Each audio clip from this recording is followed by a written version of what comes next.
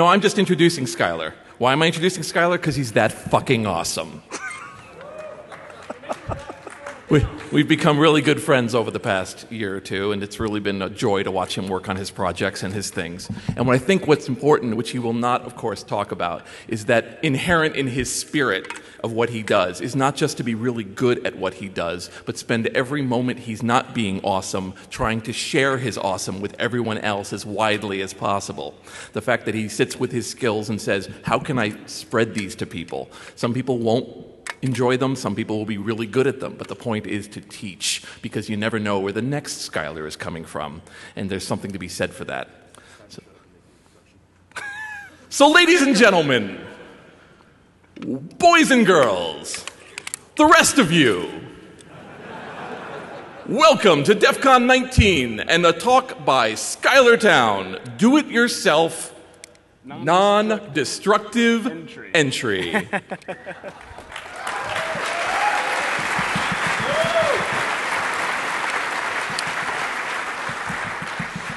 So get yourself ready for the man we call Six Second Schuyler, the man who will unlock your house just before he unlocks your heart and changes your life forever, Schuyler Towne.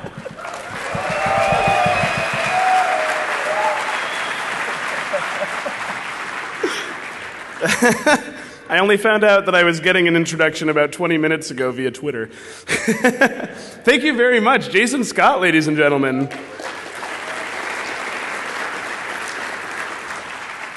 He'll be filling the Penn and Teller Theater later today. Okay, hey everybody, how are you? Good, good, good, excellent.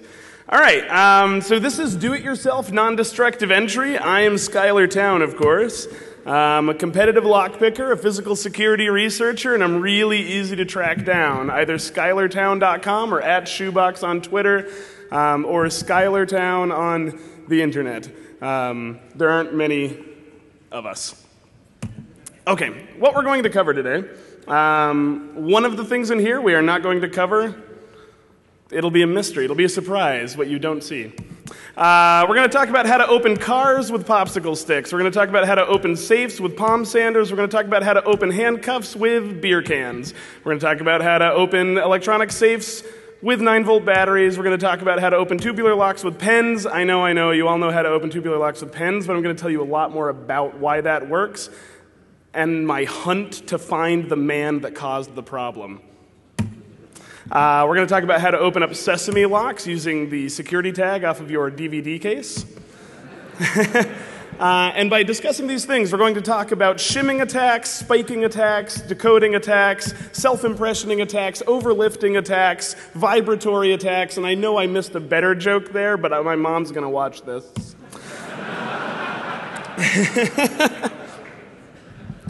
okay, so first let's talk about the cars. Um, okay, cars typically use wafer locks. To your right are the wafers. Wafers are obviously different than pin tumbler locks. Um, they don't split, it isn't two pins stacked on top of one another. In this case, those wafers, at their, uh, when they're matched to the proper key, will fit in the middle of the housing of the lock, which is on the left there. There'll be an animation to demonstrate this in a second which I just realized I didn't queue up, so it's going to be amateur hour in a second here, but that'll be just fine. Okay, the wafers are typically stacked opposite of one another. One will spring up, the next will spring down. One will spring up, the next will spring down. So they're occupying either this top chamber or this bottom chamber, and the key brings them into the middle. Yeah, well, hold on a second.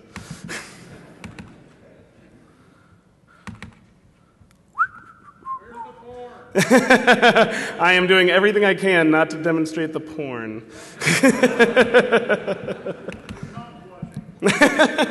oh, yeah, you just made me say porn in front of my mom. You're the worst. All right, hold on. Oh, my God. There we go. All right. So, as the, we're just removing the springs for clarity's sake. But as the normal key enters the lock, it will drag each of the wafers into the middle of the chamber. You turn it, they turn freely inside of there. Does that make sense? Beautiful. Overlifting is an incredibly simple attack taking advantage of how these locks work. It's just an inherent flaw in the nature of these locks. And there are things that you can do to improve it. We're going to show you overlifting with a key blank, and then we're going to talk about the inspiration behind this talk and how I broke my own car. when a key blank is inserted into the lock, it pushes each of the wafers beyond the chamber that they would normally be caught in. So now they're going to be blocking in the opposite chamber, but they're trying to be sprung back to their natural chamber. Keep that pressure on as you remove the key, and instead of returning to their home chamber, they collide with the side of the housing. Reinsert just the tip of the lock of the key.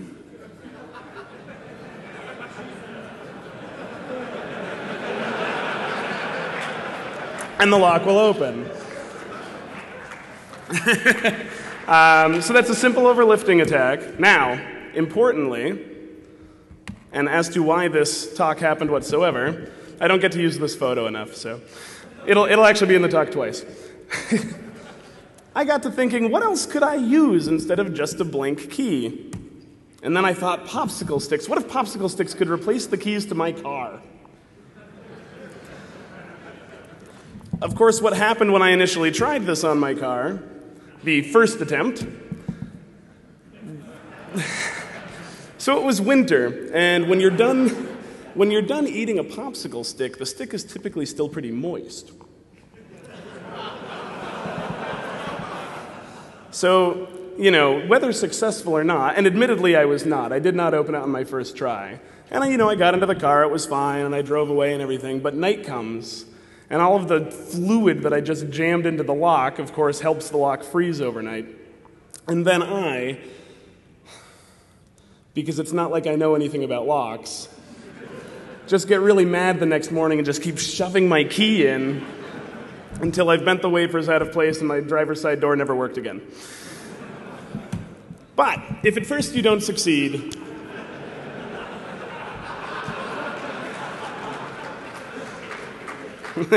I might not know what it means, but I know my audience. uh, so yes, I did manage to open. I managed to open my, my passenger side lock during the spring um, uh, with the same technique. To, to be perfectly honest, this uh, did not succeed many times, but it was very exciting for me the idea that I could potentially be out of my house with absolutely no picks on me whatsoever, but still be able to We'll talk about the ethics later, but still be able to steal a car. um, I toe an incredibly strict ethical line. I don't even pick the locks on my front door because I rent, so technically I don't actually own them. Um, I'm incredibly strict about it because I'm a little bit worried that if I start crossing small lines, that you know, I've gone on a lot of long road trips where I'll see like a 24 hour thing, but it's actually shut down for some reason. And I'm like, man, I really want a Coca Cola. I could just let myself in and leave some money on the counter. And but that's a, uh, you know, that's a recipe for disaster. But it got me to think, and you'll note that I vamped on the slide of the good photo. Um, but it got me thinking, what else could I do? What other attacks are there? And there are a lot of them that are already well known. All of us dapper lock folks aren't going to be particularly surprised by the things I'm delivering today. But the rest of you rabble, I hope that this will blow your minds. So, this is the one that you all know about. This is the one that lived in legend. Or if you don't know about it, don't worry, I'll recap. Um, but the idea here is that a Bic, uh, that a kryptonite U-lock plus a Bic pen equals that dirty rat Calhoun absconding with your bicycle. I want to thank Doug Farr, who I was just told hit his head and ended up at the hospital. That's not true. Don't worry. He's just a dick and didn't show up to the talk. but he did tell me where to find some locks that I'm going to use in the demo here. So, um, Kryptonite's, one of Kryptonite's advertisements here. Uh, this reads, nothing is harder to steal than an immovable object. Um, so Kryptonite were actually beloved when they came out in uh, 1972, I believe. And by 1974, the concept of the U-lock was so revolutionary and had replaced everybody's heavy chains that they were inducted into the Museum of Modern Art as a like design paragon art piece. Now, what was inducted into the Museum of Modern Art was the Kryptonite 4 bike lock, and we'll explain exactly the precise importance of that in a minute. But first, let's demo. Man, is that echo actually crazy, or am I just hearing it crazy? Oh, am I enunciating enough for everyone? Have any of you, um, have any of you ever watched The Stooges? You know that song they do? B E B B A Bay B I Bicky Bye B O Bo Bicky Bye O B U Boo Bicky Bye Bo Boo.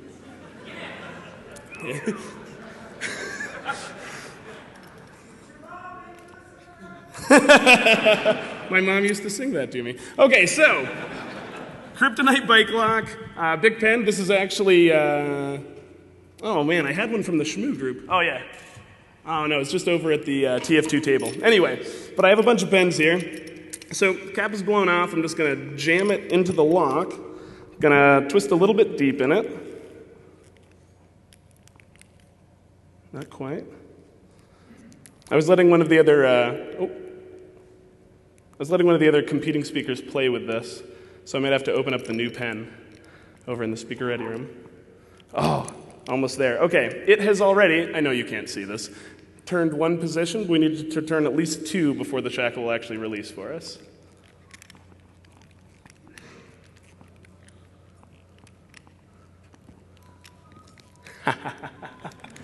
Boom.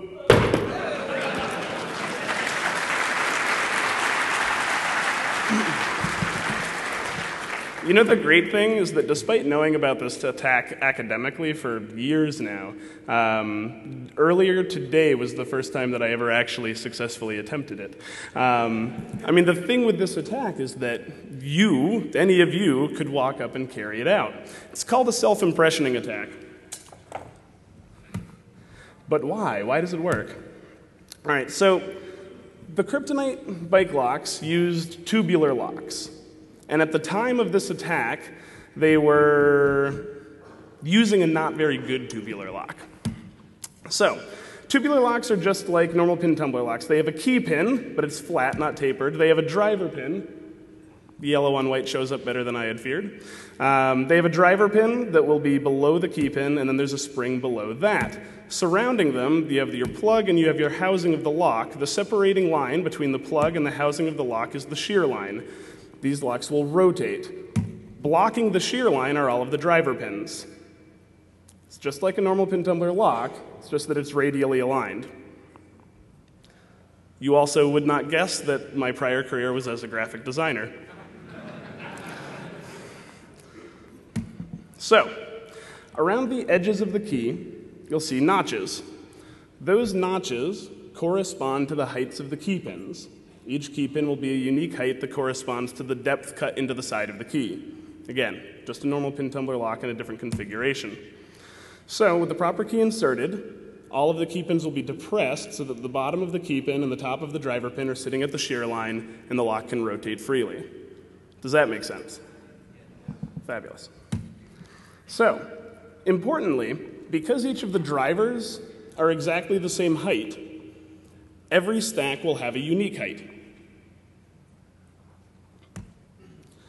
When you insert something soft into that situation, the springs all being made out of the same metal and pushing back at the same rate, the driver pins all being the same height, and the key pins all being unique heights, means that the lock itself impressions a key into the soft surface that you are attacking it with. So the key pins are literally pushed into your piece of plastic, making a key that will operate that lock. Self impressioning is a pretty badass attack.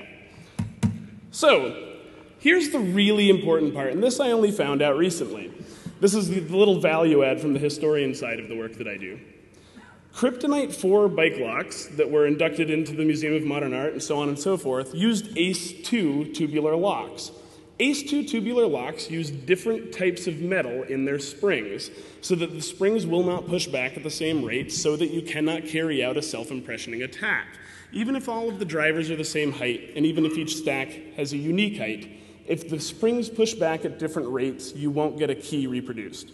They're still pickable. There are still tools to pick them. They're not perfect by any means, but at least the self-impressioning attack is pretty much dead in the water, except on certain particular bittings. So, what happened? Well, I intend to find out. Sometime in the late 80s, when they were going through a major design change in their locks, somebody made the decision to drop the higher end Ace 2 lock and go with a cheap Chinese tubular lock that was designed to fail in this way. What you also need to note is that because the ACE 2 lock existed whatsoever, this was a known problem that had a known solution. So they were reintroducing this flaw. It wasn't a major discovery. I mean, Marc Tobias was talking about how Kensington locks were reproducing this flaw and so on and so forth, only months before the kryptonite thing blew up. So the Smithsonian happens to have 17 crates of corporate records of the Kryptonite Bike Lock Company from 1972 until 2001 when they were acquired by Ingersoll Rand. I'm going to be going down there in October. I'm going to spend as long as it takes at the Smithsonian, digitizing as much as I can, reading as much as I can. My goal is to find the name of the person that made that decision.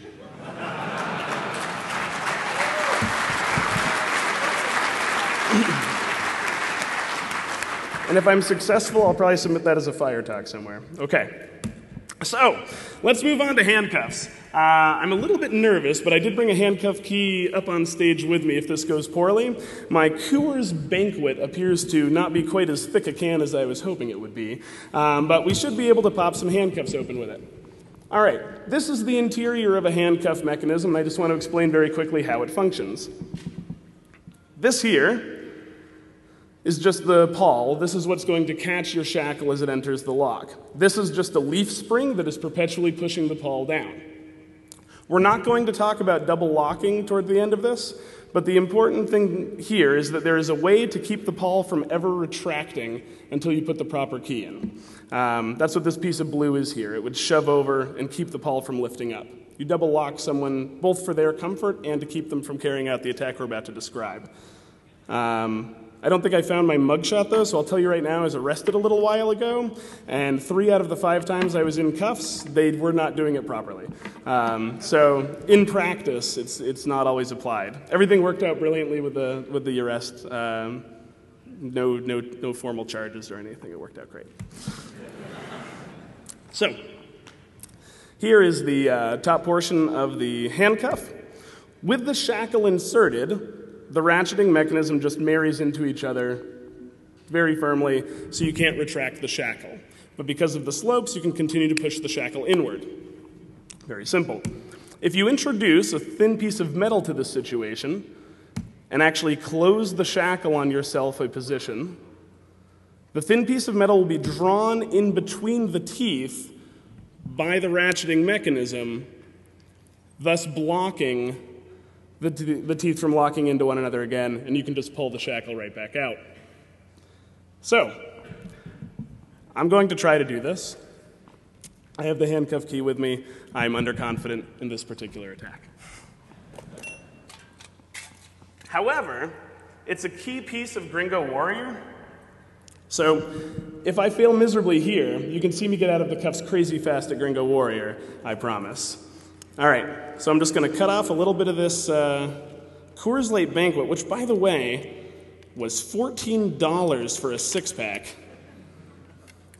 But I guess that's what you get when you're living the banquet lifestyle.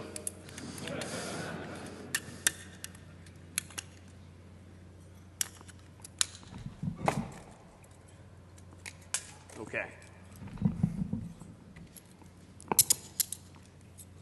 So, as I said before, I keep a really strict ethical line, but I definitely live a very rich fantasy life.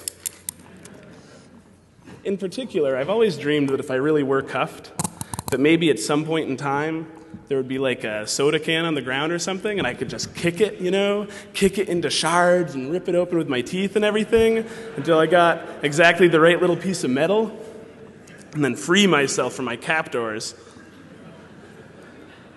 In reality, I would probably get tased but you can dream. What was that? Uh, is this your first DEF CON? I, I'm not asking that to make fun of you. I'm honest. Have, so have you ever seen the Gringo Warrior event? Come on out. You're going to love it. It'll answer all of your questions. It's at noon today, I believe, in the contest area. You start in cuffs, typically behind your back. My fastest time out of those was 10 seconds.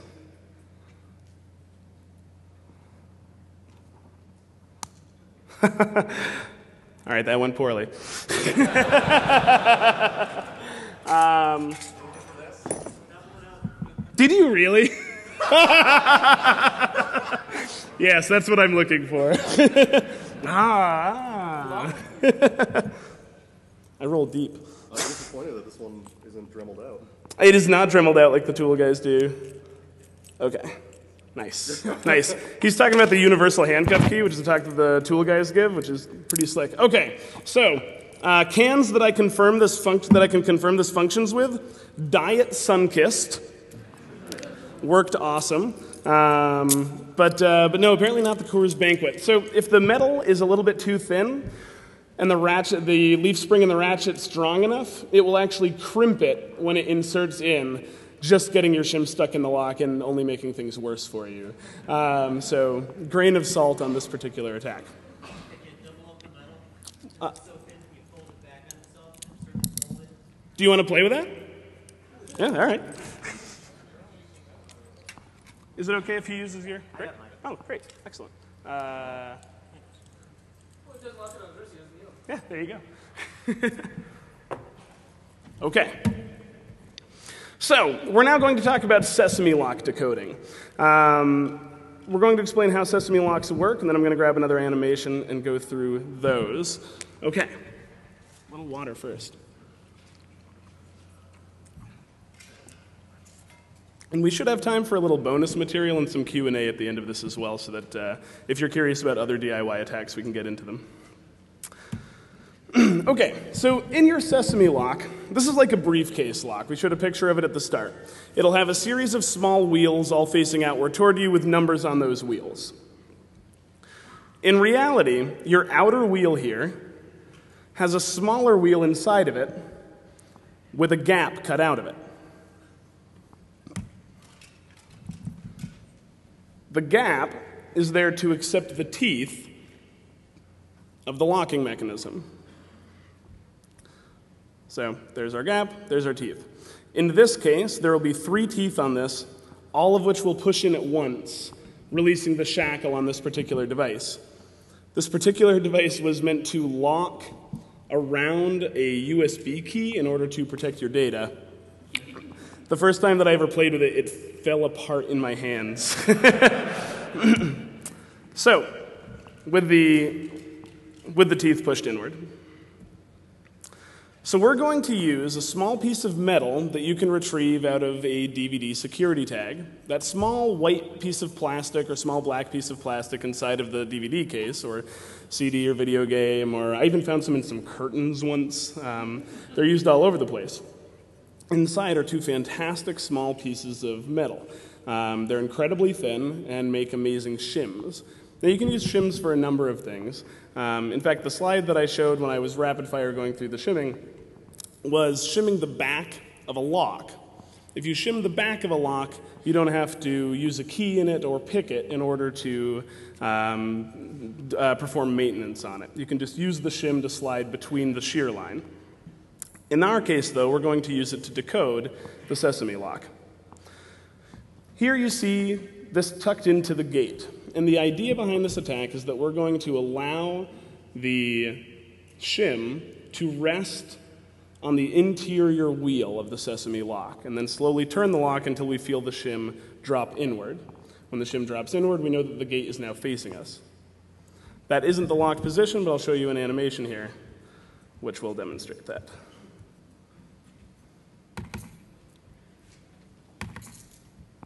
okay, we'll just scramble the wheels to start and introduce our shim. So the shim rides along the interior wheel, tucking right along the side of the main wheel. The timing isn't the best on this. As it begins to rotate, hopefully it will stay in the same position, the same position, and one position it will go in quite noticeably. So leave that there. Five actually is not the first number in our combination. What we need to do right now is just get all of the gates lined up.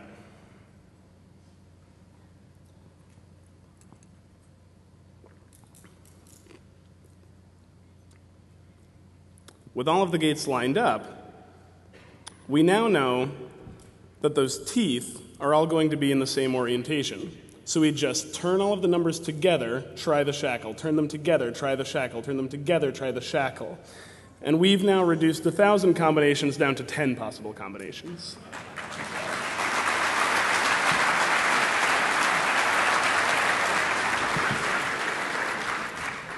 Thank you all.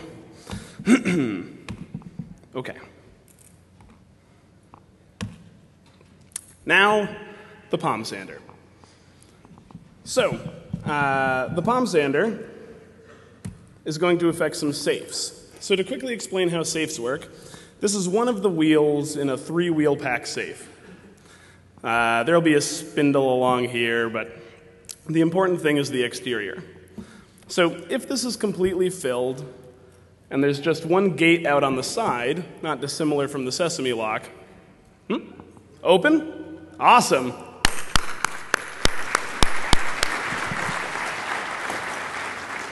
All he did was double up the metal because it was so thin. So you could still potentially kick and crush a can your way to victory um, and outrun the teasing. Um, so, uh, so we have a few of these in the lock, right? In between each of the wheels is what we call a fly. That's the small bit in the middle of it. Each fly picks up the next wheel in the lock. So these aren't directly driven, each one influences the next. When you have to pass by your number a couple of times, what you're actually doing is picking up every wheel in the lock with the one wheel that's directly driven off of the dial. So, when you pick up that last wheel, you leave it behind, then turn two times past your other number, right? That way you're picking up your own wheel and the next wheel, leave that one behind one time, leave that one behind, and then the final number. Or in this case, I did one too many, but that's the idea. So the important thing, because these aren't direct driven, each one of them can rotate independent of one another if the right sort of force is applied to it. So these are just a quick see-through of three of the wheels in our safe, and this then is our locking bar. So when they're all lined up after you've dialed your combination in correctly, that bar can drop down into place and your safe can open. Super simple. However, in some not terribly well made locks, the bar might be right there. And if you apply a vibratory force to the dial of the lock, the wheels will want to settle with either the most material down or the least material facing up. so, without ever dialing anything, just by applying that constant vibration, you'll eventually get the wheels to settle into the top gated position, allowing that to drop in and the safe to open. Now, um, I picked up a safe to do as a demo, nothing that I was going to fly out to DEF CON with, of course, um, but just a small fire safe to try this out on myself. And uh, you know, it wasn't working, and I pulled it apart to actually look inside, and I was like, oh, fairly clever. You know, they they knew as much to mount the uh, to mount the bar right here. But I mean, this was a 65 pound exterior fire safe, so I just tipped it over, and it worked great. um, I often say when I'm doing trainings and talking to people about various other, um, various other methods of entry and, and picking with traditional tools and things like that as well, that very often we know a lot of information before we approach a lock. We know information about its keyway, we know information about the cut depths of the key, we know um, uh, uh, if it's a master keyed system, so on and so forth. And having that prior information, or even having that information stored in the memory banks when we walk up to a lock and see, oh, it's a Schlage Primus, I'm in an apartment building, uh, you know, probably has a regional sidebar vulnerability, and we can go to that tool set. So in this case, there are schematics available. Um, you know, there are patents available. You can even just buy something and pull it apart to see at what angle this particular guy is set. And if it's an exterior safe that isn't bolted into anything, you can just shim the legs of it up to the right angle to carry out this particular attack. There was a probably apocryphal story about a naval ship. There's actually two good stories about Navy ships and, uh, and locks. Um, but the, the, they were having these safes opening all over the decks, and they couldn't figure out why it was happening, and there were stories of a ghost and things like that. But in reality, the forces being exerted on the safes from the ship, the engines, the turbulence of the water, et cetera, et cetera, were just enough to occasionally make the wheels settle out just enough that the bar could drop in. Once in a while, they shook the dial enough that the whole thing opened. Um, I don't know how true that is, but it's certainly a good story. How are we on time? Awesome. All right, we have plenty of time for me to tell the other story, uh, which has nothing to do with the talk, but is also pretty funny. So, a, uh, a fantastic, a, a, beautiful Russian lady, uh, for whatever reason, has been invited onto a military ship in order to sort of take a formal, formal cruise of a particular area. And she says to a young naval officer, Oh, it's so beautiful out here, it's so lovely, um, but I'm a little worried about my jewels. They belong to my grandmother. Could I give them to you? And could you put them somewhere safe for me? So he, of course, goes and puts them in their safe. She later approaches the safe with a sheet of paper, comes back later and opens the safe and takes everything out of it. Because the sheet of paper was radiographic film and her necklace was radioactive again, it's apocryphal, but certainly a good story. All right, there are a couple of other things that I want to show you. Um, one is items that you can make your own picks out of, uh, and then another fantastically clever little hack that uh, Doug Farre reminded me of before I came out here, which I don't have slides for, but I'm still, still going to demo for you on stage and try to explain how it works. Um, Cool. So we're going to do those, and then we should have plenty of time for questions. Uh, bang through a lot of material a little faster than I expected. All right. I'll put this up in the meanwhile so you can track me down. so this is a windshield wiper blade. You, many of you probably have these. And if you don't want to give up your own, you probably know where to find some. so, um, inside the windshield wiper blade are two fantastic little pieces of spring steel. The spring steel in these is perfect for making your own picks out of. Other sources for good pick making material um, from found objects. Uh, street sweeper bristles. This is a relatively common one in the community, and, and some people outside of it may have heard of it as well. But if you literally just get on your bike and bicycle along behind a street sweeper while it's doing its work, occasionally its spring steel bristles will snap off and lay, lay in the gutter for you. Pick those up, clean them up, make your own tools out of them. Making your own picks is actually relatively easy. If you have hand files and a little bit of patience, you can bang them out pretty quickly. If you don't have much patience but have a $10 grinding wheel, you can bang them out very quickly. Um, definitely finish your picks. And the one thing that I want to explain about this before you all go and put some spring steel through the palm of your hands is how to disassemble this safely. Very simple. Just worry the rubber portion out from the middle and then pull down. It'll pull out cleanly, and you'll be left with two beautiful pieces of spring steel that you can use for tension wrenches, lock picks, so on and so forth. If you try to pry the spring steel out without first removing the rubber, it will turn into a bow and fire one of them into you. Um, so please be careful about that. Okay, um, finally, this is a Master Lock 175. This is a sesame lock. It's a padlock. Um, I am going to just open it very quickly and then explain to you how I opened it very quickly. Hopefully, I open it very quickly in reality. Yeah, there, just like that. so, um, We're fairly clever lockpickers, um, and we can come at things in a number of different ways. One of the most important things to think about when you are first approaching a lock or first approaching designing a lock is that there are all sorts of attacks that we know about and have known about that might get accidentally reinvigorated in your really super secure design. But we'll just bypass the primary mechanism altogether and open your lock without ever consulting your nice, you know, sesame lock or whatever the else case may be. In this case, with a thin piece of metal, in this case I'm using a pick, which I know isn't a found object, but we could use the windshield wiper blade or a street sweeper bristle.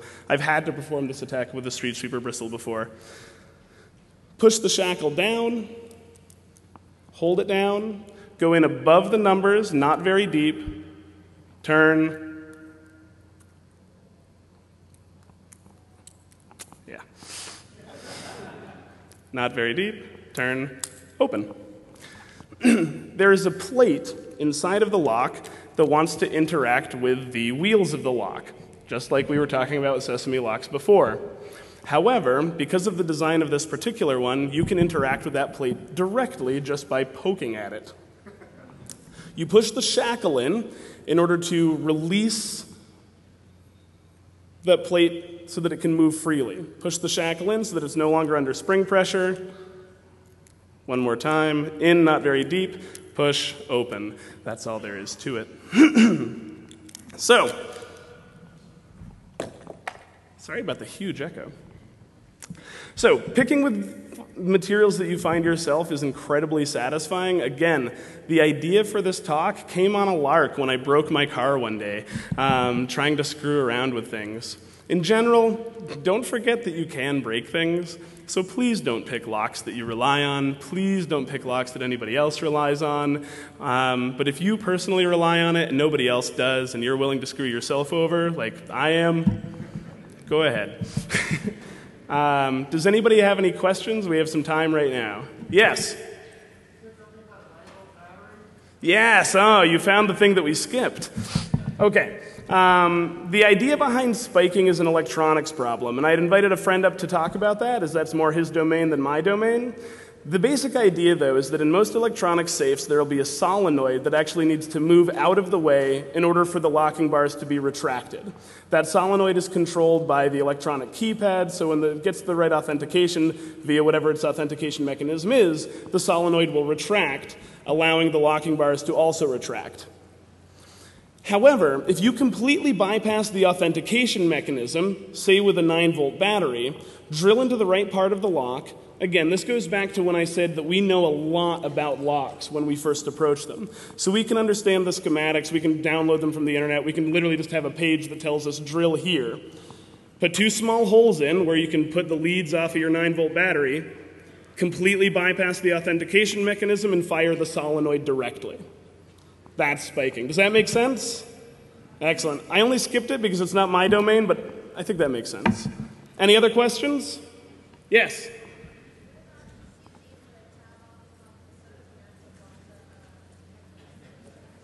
The tab off of the top of a soda can to do the handcuffs? I think that it might be a little bit too thick. The, um, the actual operating space in there tends to be quite tight. However, uh, if one of the folks in the lockpick village is willing to let you play with it, they definitely have cans and they definitely have handcuffs. Oh, that's not a bad idea at all. Yeah, try that out. Let me know how it works. Yeah, excellent. Yes. Oh, yeah, man, that was rude of me. She was wondering if the interior tab, the part that breaks away when you want to drink your soda, if that might be a little bit thicker but still available to you to shim the handcuff. It'll definitely be a little bit too wide, but if you trim it down, it might be thick enough and, and work well. So she'll play around with that. Anybody else? Yes. Uh, completely depended. I only managed to do it on two. Um, the one that I had to knock over went like that once I knocked it over because the gates were about that big and the actual locking bar was about that big. Um, it was. Well, I'm very sorry. That's the second time I've done that. He was asking how long it takes to palm sand the safe open. I was explaining that the easiest one for me went very quickly because the actual locking bar was maybe a fifth the size of the gate that was available for it. It was made to be incredibly forgiving as you dialed it in um, and, and very poorly made despite being relatively expensive.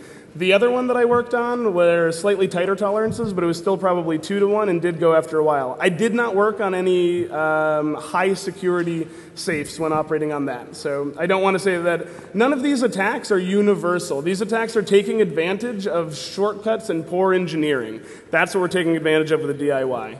Yes?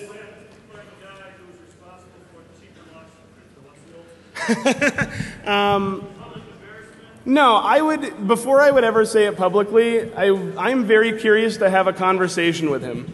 Um, most of my work, most of my primary work concerns the history of lock engineering and how changes in physical security have affected culture. When the kryptonite bike lock happened, it was such a public disclosure. Many, many, many people were affected by it. Kryptonite had to respond in an incredible way. And even ACE 2 locks, which were not vulnerable to that attack, were forever besmirched because they looked just like the lock on the kryptonite. And to this day, when somebody sees a tubular lock, they'll say, oh man, you can open that with a Bic pen, even if it's not the case. So I want to know why it happened, and I want to know if he was aware of the decision that he was making. Um, and if we get to a point where I can't manage to have that conversation, yeah, I'll probably say his name. Thank you. We have 10 minutes. Yes. yes. Thank you very much. He said that I should uh, tell loved ones if I'm going to go talk to this kryptonite guy in private, um, where I'm going to be. Anybody else? Thank you all. oh, I'm so sorry. Wait. Yes. Damage to the internal components of the lock is really low unless you're. I mean, anything that you're doing outside of the norm has the chance to wear things out faster. You're definitely going to leave marks on the exterior of the lock as well, uh, though you could probably mitigate that, I suppose, by putting something uh, non abrasive in there. Uh, yeah, uh, I, the first one that I did, I was an idiot and I kept the sandpaper on. Because um, I just grabbed it at a friend's place. but yes, no, that's a good point. He says they have rubber bases, they shouldn't be marking. Um, but uh, as far as rest of the internal components, really it's just about wear. Um, you'll be putting it through a lot of its paces, but they're very simple machines. Um, so the risk shouldn't be high. Again, though, remember locks can break, so please don't pick a lock you rely on. Thank you all so much.